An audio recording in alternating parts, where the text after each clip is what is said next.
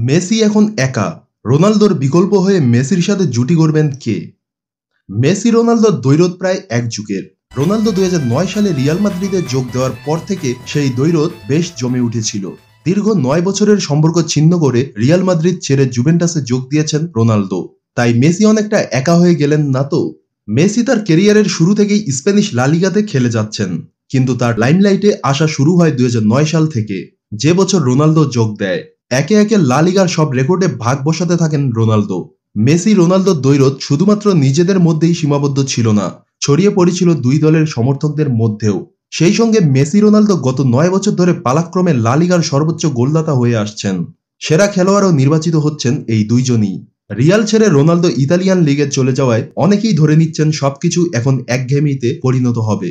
তবে মেসি এখন যেই ফর্মে রয়েছেন, সেই হিসেবে ধরে নেওয়াই যায় মেসি এখন একনায়কতন্ত্র কায়েম করবেন লা লিগাতে। এদিকে লা লিগা আবারও শাসন করবে মেসি। অন্যদিকে নতুন সিংহাসনের শাসক হবেন রোনালদো। রোনালদো তার ইতিহাসের সেরা ফর্মে রয়েছে।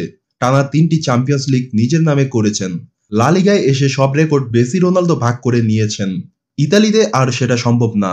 তার সমমানের খেলোয়াড় কোথায় পাবেন রোনালদো? তাই রোনালদোই হবেন ইতালি লিগের নতুন রাজা। একটি কথা অবশ্য সত্যি, এই দুইজনের মহারথী হওয়ার পিছনে একে অপরের অবদান কম না। দুই বিশ্বসেরা দৈরত তাদের ইতিহাসের শ্রেষ্ঠ খেলোয়াড় হয়ে উঠতে বেশ সাহায্য করেছে। এক দশক ধরে বিশ্ব দেখছে কখনো মেসি, কখনো রোনালদো। তাই ঘুরে ফিরে একটি প্রশ্ন উঠে আসছে, মেসি লড়াই করবেন কার সঙ্গে? রিয়ালের রোনালদোর বিকল্প হতে পারেন যারা? ভবিষ্যতের কথা ভেবে নিজেদের বর্তমান সাফল্যের অন্যতম কারিগর রোনালদোকে আটকানোর তেমন একটা চেষ্টাও করেনি রিয়াল মাদ্রিদ। কিন্তু রিয়াল প্রেসিডেন্ট ফ্লোরেন্তিনো প্যারেস কাকে দিয়ে রোনালদো শূন্যতা পূরণ করবেন? স্পেনিশ সংবাদ মাধ্যমের খবর অনুযায়ী, রিয়ালের সম্ভাব্য শর্ট লিস্টে আছে ছয় জনের নাম। দেখে নিন কারা সেই ছয়জন প্রথমেই থাকছেন Neymar da Silva junior.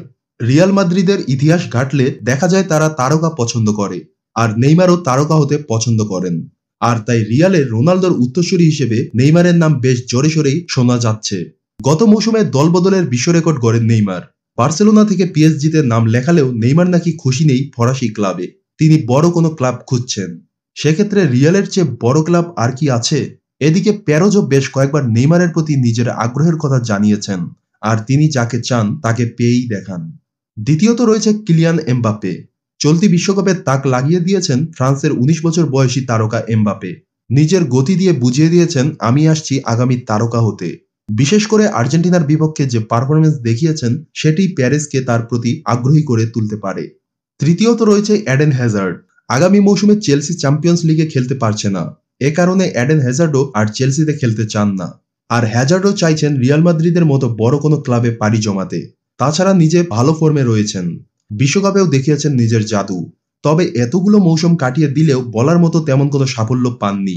তবে স্প্যানিশ পত্রিকা এএস এর মতে, নেইমার ও এমবাপেকে না পেলেই কেবল হ্যাজার্ডের দিকে আগ্রহী হবে রিয়াল। তাছাড়া তার বয়সও কিন্তু সাতাশ।